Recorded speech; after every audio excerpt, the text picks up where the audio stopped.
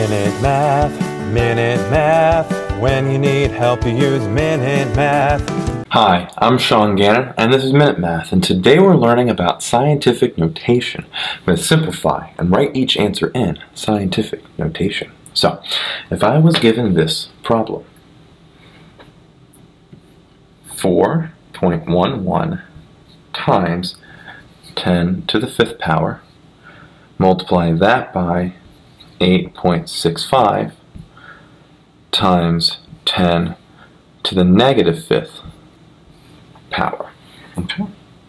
First thing I want to do is take the 4.11 and multiply it by the 8.65.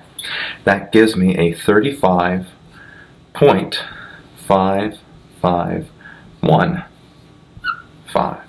Okay? Now the tens. 10 to the fifth times 10 to the negative fifth. So now we have 10. Well, when we multiply the same base, we add the exponents. 5 plus a negative 5 is 0. 10 to the 0 power, okay? And before you get ahead of yourself, 10 to the 0 power is still just 1.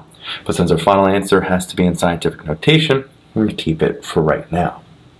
Scientific notation also states that we need to have the first digit to be in the ones position. So 3 should be in the ones position. Decimal placings move over one spot to the left. So we have 3.55515, but then we have an issue. We need to counteract that decimal. Decimal went one spot to the left, so that means we have to multiply this by 10 to the first power.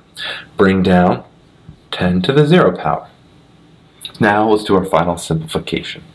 3.55515 is right there. And we have to multiply the tens. Right, same base, add the exponent. 1 plus 0 is 1 times 10 to the first power. And so my final answer here is 3.55515 times 10 to the first power. Minute Math, Minute Math. When you need help, you use Minute Math. Minute Math, Minute Math.